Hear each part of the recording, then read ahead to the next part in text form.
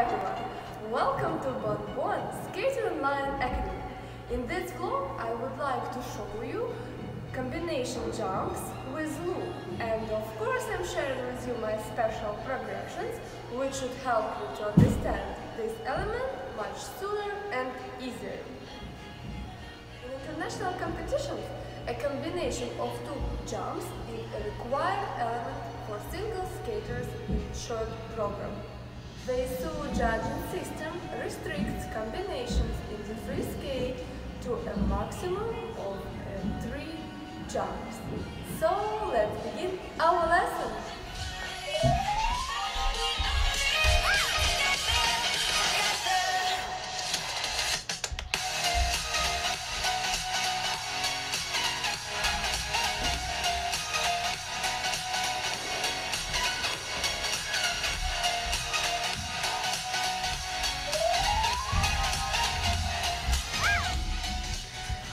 Combinations are defined as two or more jumps in which the takeoff edge of the second or third jump is the same as the landing edge of the first jump.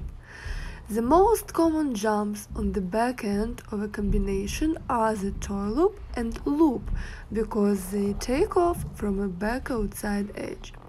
Loops are more likely to be judged as under-rotated or downgraded to execute combinations ending with salchows or flips, a half loop, which lands on a backward inside edge, is employed as a connecting jump.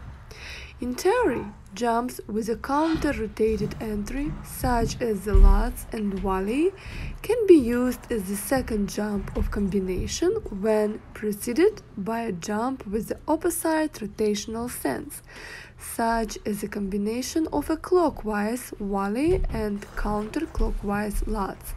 In practice, this is rarely attempted because most skaters only train jumps in one direction. In international competition, a combination of two jumps is required element for single skaters in the short program. And of course, we can do two or three combinations in our free skate.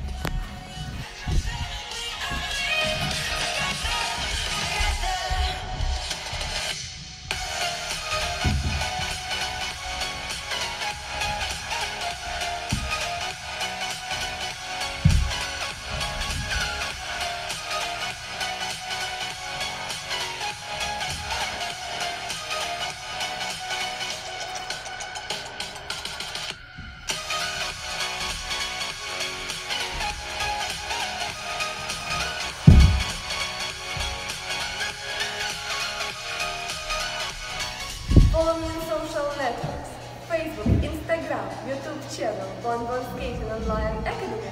I always need new followers,